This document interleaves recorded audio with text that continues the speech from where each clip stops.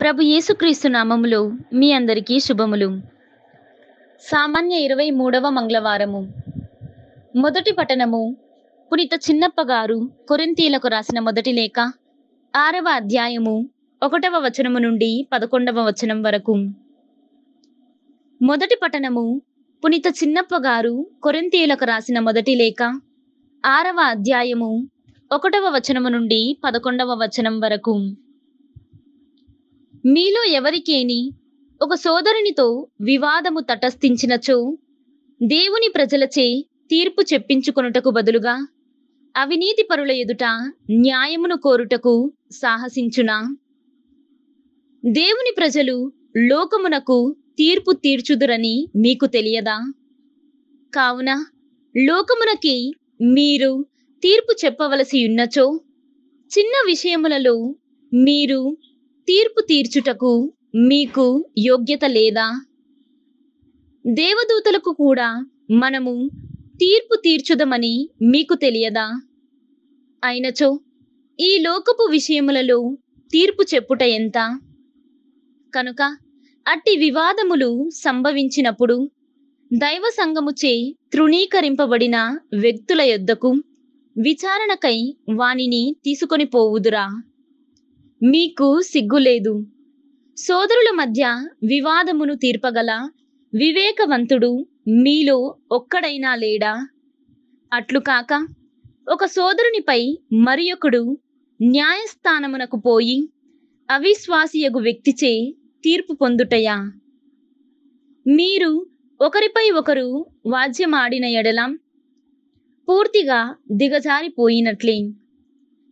అంతకంటే మీకు జరిగిన అన్యాయమును సహించుట మేలు కదా?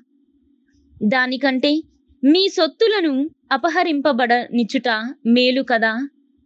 కాని మీరే ఒకరికి ఒకరు అన్యాయము చేసుకొనుచున్నారు. ఒకరిని ఒకరు దోచుకొనుచున్నారు. అందును మీ సోదరులనే దుష్టులు దేవుని రాజ్యము పొందరని మీకు తెలియదా? మోసపోకుడు.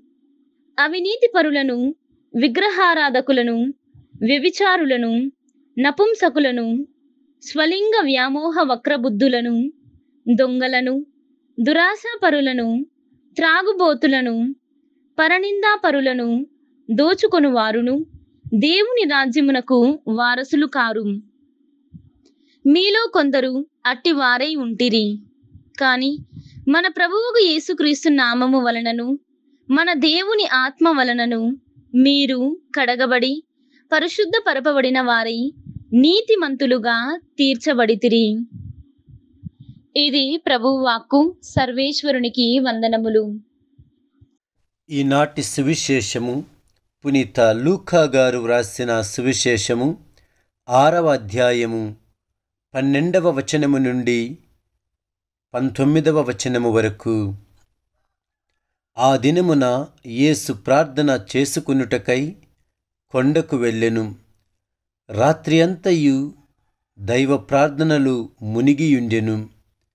ప్రాతకాలమున తన శిష్యులను పిలిచి వారిలో పన్నెండు మందిని ఎన్నిక చేసి వారికి అపోస్తులు అని పేరు పెట్టెను. వారు పేతురు అనబడు సిమోను అతని సోదరుడగు ఆంద్రేయ యాకోబు యోహాను ఫిలిప్పు బర్తలోమయి మత్తాయి తోమా అల్ఫాయి కుమారుడైన యాకోబు దేశభక్తుడు సిమోను యాకోబు సోదరుడైన యూదా ఆయనను అప్పగించిన యూదా ఇస్కారియేతు. అటుపిమ్మట యేసు వారితో కూడా కొండ దిగి వచ్చి పెక్కుమంది అనుచరులతో మైదానమున నిలుచుండెను. యూదయ దేశమంతట నుండి ఎరుషులేము నుండి తూరు సీదోను అను సముద్ర తీరపు పట్టణముల నుండి ప్రజలు అనేకులు అచ్చట చేరియుండిరి. వారు యేసు ఉపదేశమును ఆలకించుటకు రోగముల నుండి విముక్తి పొందుటకు వచ్చిరి.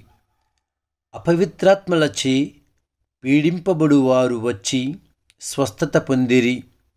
యేసు నుండి మహాప్రభావము వెలువడి అందరినీ స్వస్థపరచుట వలన జనులెల్లరూ ఆయనను తాకుటకై తహతహలాడుచుండిరి.